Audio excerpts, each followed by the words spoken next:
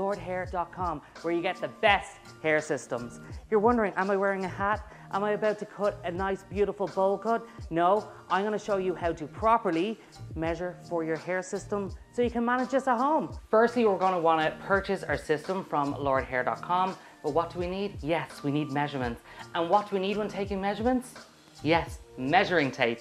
So a simple way to be able to measure your hair system is to check where you have lost most of your hair um, and where you want the most significant amount of hair to be placed. In my case, I find that I have receding lines here and I wanna make sure that it is fully covered at the front. So I will take my tape and measure from side to side to get the full measurement at the front, which in my case is six inches. Mmm.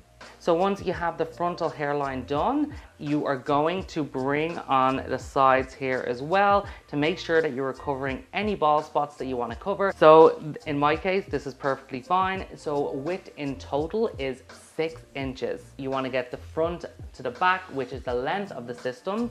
You're going to take it from where your pre-existing hairline is or where you might be able to see a few finer hairs. We create, create more natural oils and a sweatier forehead, which will help break down the glue and you'll have a flappy mess sooner than you think. So we want to make sure that we adhere it at best to the front of the hairline. So you're going to take that tape right at the front and you're gonna bring it to the back. You can get someone to help you to make sure that you're covering any um, bald spots at the back and how far the system needs to go back down the head. So in my case, I can feel where the regrowth was before.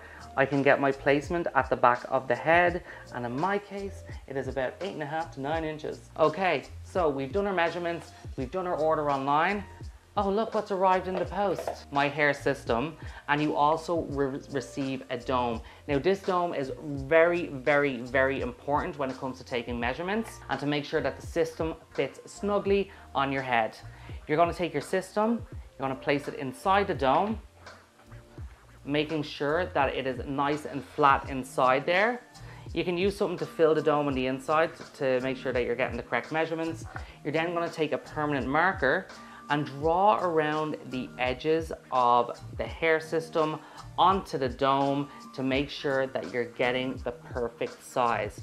Once that's done, get your little scissors, you're gonna cut up around the edges, and look, here's one I made earlier, which is gonna fit perfectly on my head, okay? So you're gonna place that right at the front hairline where you measured previously, and press down nice and tightly. You have to make sure that the dome is fitting snugly on your head from front all the way to the back. You can see that this does actually fit quite well and it covers my temples, not my temples, it covers my receding hairline. So it's gonna be picture perfect when I place my system on. I have my trimmers, my lethal weapon that's gonna shave my head. All right, so we're gonna turn it on and you're literally gonna go around the dome and you're going to create a line before shaving. And this is basically your guide. Okay, now that everything is ready, I've cut in my lines and I've also pressed down so hard that I marked the front of my head. But that's perfect because it'll give me even better placement when I put my system on. Okay, here we go. Let's get shaving.